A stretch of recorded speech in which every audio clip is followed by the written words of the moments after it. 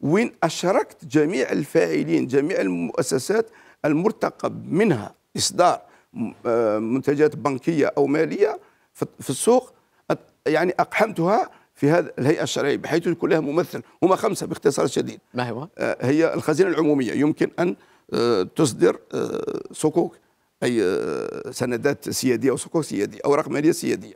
عندنا المؤسسات الاقتصادية ممكن تصدر صكوك كذلك أو أسهم. عندنا كذلك المنتجات البنكية. السيد محمد الحبيب أمامنا اللي هي تحت مظلة طبعا البنك المركزي. وعندنا شركات تأمين ممكن أن تصدر آه، تأمين تكافلي. وأخيرا وهذه آه، متميز يعني هذا المقترح متميز مقارنة بكل الهيئات الشرعيه المنتجة في العالم اللي هي سميتها منتجات مالية خيرية وقف زكاه